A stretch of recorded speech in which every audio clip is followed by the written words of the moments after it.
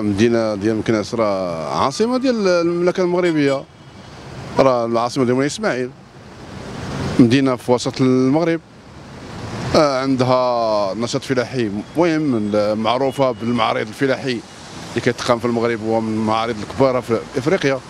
مكناس كتميز بالمآثير التاريخية في الدرجة الأولى والسياحة. عندهم السياحة قليلة شوية ما كاينش ما عطيناش أهمية كبيرة.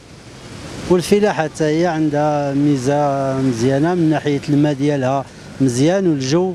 مدينة يعني أثرية وفيها واحد المجموعة ديال يعني كاين تنوع في الساكنة وكاين كاين فلاحة كاين مناطق فلاحية يعني في لي زالونتور ديالها في النواحي. وهذا الشيء اللي ويعني جاية في, في وسط المغرب يعني حتى حتى من ناحية الطقس كاين هناك اعتدال. يعني هادو هما الميزات. فلاحه والخضرة وكل شيء والماء ديالها مزيان والآثارات وكتعد من المدن القديمة. اللي تيجيو لها السياح بكثرة بحال فاس بحال مراكش. المدينة التاريخية المعروفة في المغرب كامل تتميز على باقي المدن بتاريخها العريق أن أول مدينة عاصمة للدولة الإسماعيلية العلوية.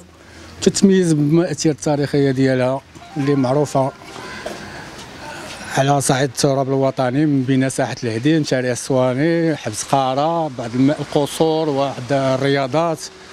عندها مآثر سياحية. جيت لها هذا النهار في عيد المولود فهي معروفة بإحياء الذكرى ديال المولد النبوي. وهي مدينة من المدن العريقه في المغرب. معروفة بالضريح ديال سميتو الشيخ الكامل واحد الضريح ديال واحد الوالي صالح. كيكون واحد الاحتفال يعني طقوسي. تتميز أصلا بالطبيعة الخلابة ديالها بالمناظر الجميلة ديالها بالجو ديالها اللي الحمد لله أنتم تتشوفوا الخيرات ديالها إن شاء الله. وباقي من ناحية الجودة ديال الفلاحة كاين هناك مجموعة ديال المشاريع اللي اصبحت تنتمي لها مدينة مكناس من بينها المشروع ديال المعرض الدولي للفلاحة.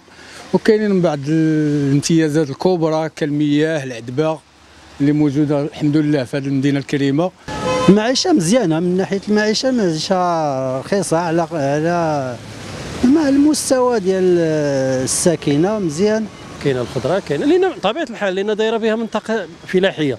يعني راه غادي غادي يكون واحد الاكتفاء يعني نوعا ما ديال ما هو فلاحي. قبل ما تخرجوا ما تنسوش تابوناو في la chaîne YouTube وبارطاجيو الفيديو وديروا j'aime. وتابعوا الدار على مواقع التواصل الاجتماعي.